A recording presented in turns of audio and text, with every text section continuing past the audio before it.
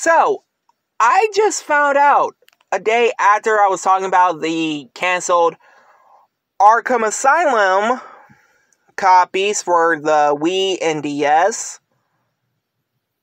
Well, there was another one that nobody didn't knew about called Batman Arkham Beyond or Arkham Batman Beyond. I don't remember.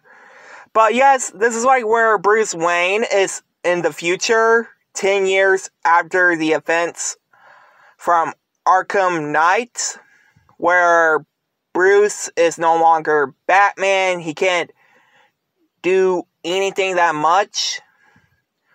Well,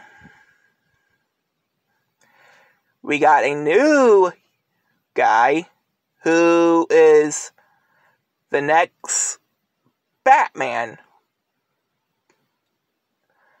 which is Batman Beyond. And we're supposed to have like new villains like uh Gorilla Grodd, which I don't know why. He's a villain in the canceled game, but he's supposed to be a I think he's a Flash villain from the Flash comics, but uh Two-Face and the other one I don't remember. But why did this game get canceled? Well, all we got was Gotham Knights, which was released over a year ago. And I saw gameplays to that game. A lot of people said the game is not that good because the game was originally supposed to release in 2021, but it was delayed.